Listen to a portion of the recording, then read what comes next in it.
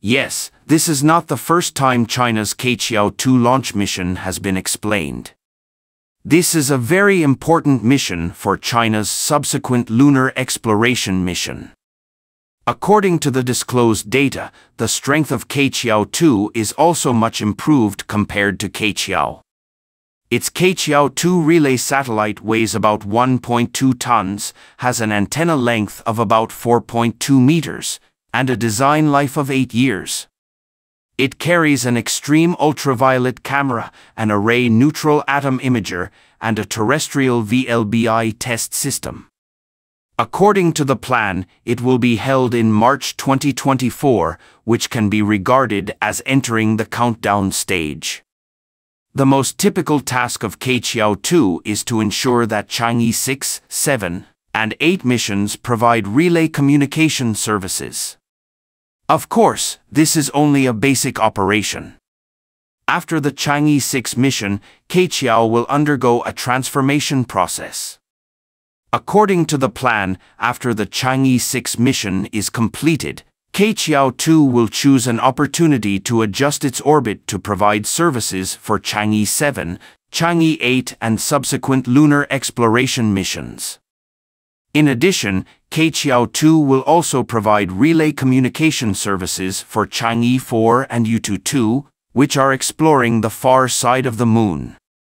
This shows that Queqiao-2 does not perform its mission in one zone, but can also perform orbit changes in space if it wants to meet the requirements.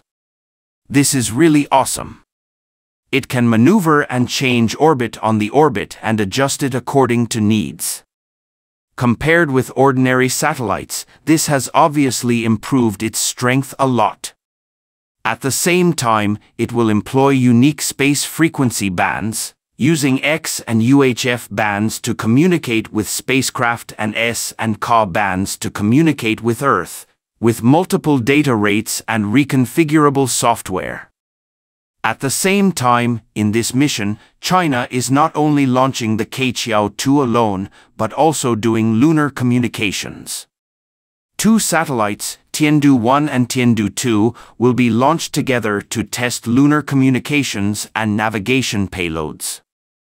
Therefore, I am quite looking forward to the fact that China will carry out a multi-satellite mission with one arrow, and I also look forward to China being able to carry out the mission perfectly. With the establishment of Queqiao-2, China actually has a more powerful space system construction. To build a lunar satellite constellation, Queqiao will be simultaneously modified to build satellites in the L2 point area of the balance point of China's Earth Moon Tribody system. After Queqiao 2, there is another most critical mission for China Queqiao 3, which will be more powerful and will fully open China's deep space network. According to China's space network plan after its establishment, China will not only support the basic development of the Moon, but also support the Mars and Venus networks.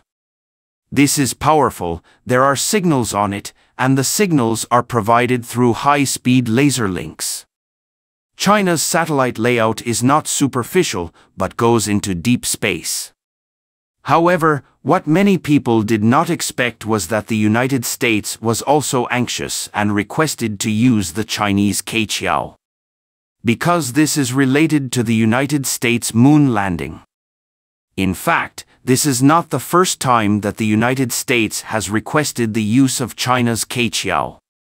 The United States once made a request to China, hoping that China would extend the design life of the Queqiao relay satellite from three years to five years.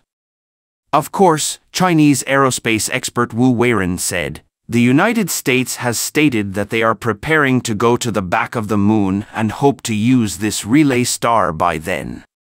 If the United States did not have China's Queqiao satellite, it would be difficult to land on the moon. And in 2023, Lu Jingxiang, a Malaysian associate researcher at the University of Science and Technology of China, revealed a piece of news that is China has agreed to requests from NASA and other national aerospace agencies to use Queqiao to help them complete future lunar exploration missions. If the United States really wants to use the Chinese Magpie Bridge, many people will be confused. The United States is so powerful and the moon landing is so important, why not build it by themselves? Indeed, it is not difficult for the United States to manufacture relay satellites, and there is a reason why the United States has repeatedly requested the use of China's Queqiao. To put it bluntly, a key issue is wanting to save grocery shopping money. It can be seen from the situation of the United States' return to the moon plan that the funding problem faced by the United States is already very serious.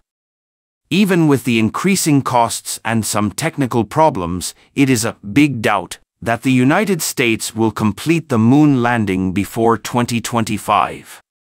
In 2023, it was already reported that the United States may land on the moon before 2027. Therefore, the running in of various projects in the United States is not consistent, and the support is not enough. If the United States develops a relay satellite on its own, including launch and operation, it will cost at least hundreds of millions of dollars. NASA's current budget is tight, and it is obviously much more cost-effective to seek cooperation from China. Of course, the United States' proposal for cooperation is also based on its recognition of Magpie Bridge and China's aerospace industry. But when establishing this issue, the United States actually has to refer to Chinese standards. Yang Yuguang, a researcher at the Second Academy of China Aerospace Science and Industry Corporation, previously said that their detector design, for example, must also refer to the Magpie Bridge standard and comply with characteristics such as communication capacity and return code rate. Therefore, this also poses a dilemma to the United States.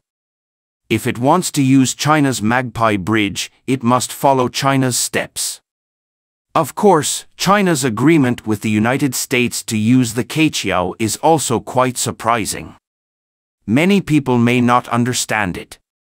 Isn't it because China and the United States are not cooperating? Why can the United States still use China's Queqiao too? From the perspective of aerospace development, China's aerospace industry will open its mind to the world and hopes to cooperate on all projects. Anyway, no matter how you explain it, one thing has been pointed out. That is China's aerospace industry has always maintained an open attitude. Some things may be let go, but some may not be, it depends on how to measure them. Thank you for watching. If you enjoyed this video, don't forget to like, comment, and subscribe to our channel for more great content. See you next time.